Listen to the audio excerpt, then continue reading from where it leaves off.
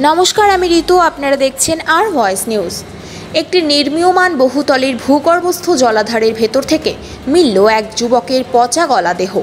বৃহস্পতিবার সন্ধ্যায় দেহটি উদ্ধার হয়েছে হাওড়ার ইস্ট ওয়েস্ট বাইপাস সংলগ্ন নূর মোহাম্মদ মুন্সি লেনে।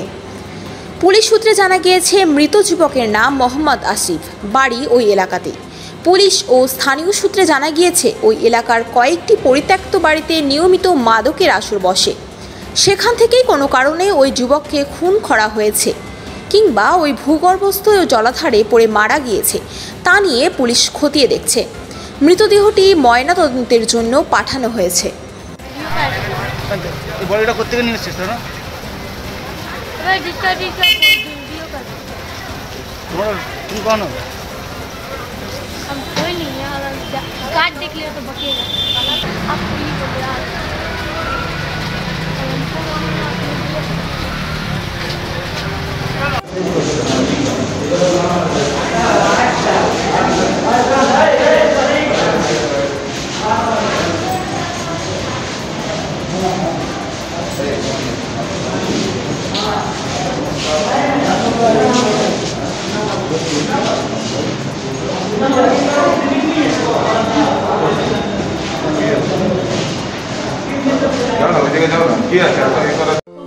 This is my first book, Solace.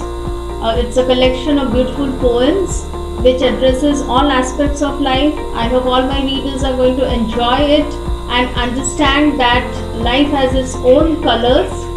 This book will be available in Flipkart and Amazon within a week. So please place your order, read, and enjoy. Thank you, everyone.